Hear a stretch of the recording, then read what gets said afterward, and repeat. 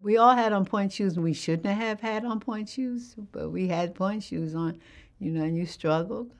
And some of us found it easy, and some of us didn't. But uh, a lot of us were exposed to ballet.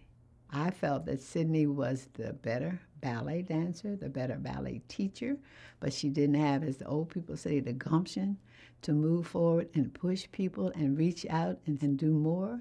I think she was satisfied with what she knew and what she could teach and what she could give. And whereas I would say Miss Cuyjet wanted to do more and expose her dancers to more, and I think she wanted to be more credible.